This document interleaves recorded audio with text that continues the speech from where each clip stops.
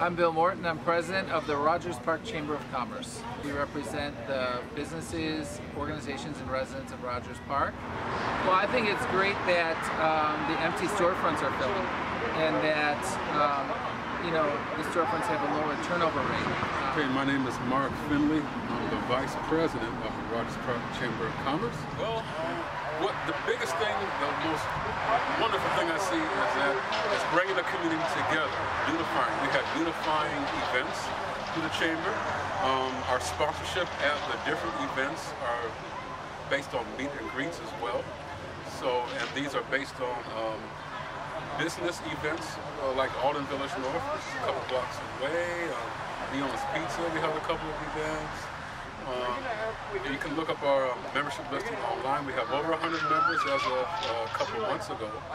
And what I like about this is that it's unifying Rogers Park to where it's bringing neighbors and businesses together to sit down, meet and greet, network. Networking is a, one of the key features of uh, being in the Chamber of Commerce as either a member or an individual business vendor, uh, sponsor vendors, big or small, individual or businesses, is uniting everybody.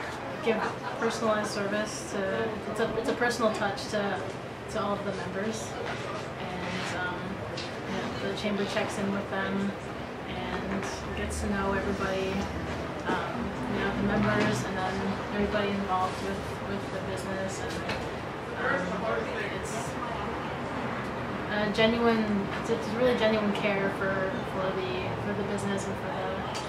My name is Eileen Burns, and I'm connected with the Chamber because I am managing the Rogers Park Art Gallery over at 6902 Glenwood and Bill introduced himself and then I came over and he helped me do some social media stuff that I needed help with and I still need more help which he's going to help me more.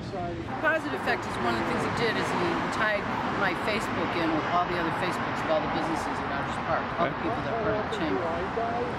That's a big positive because being new and not being that savvy with social media, this has been a huge source. My name is Jerry Zhu, and I'm a longtime resident of Rogers Park. I go to Lane Tech High School.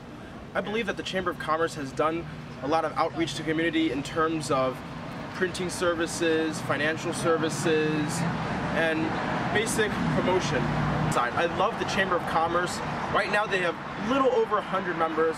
I believe that they have the potential to encompass all the members of Rogers Park because this is truly a gem in a rough area.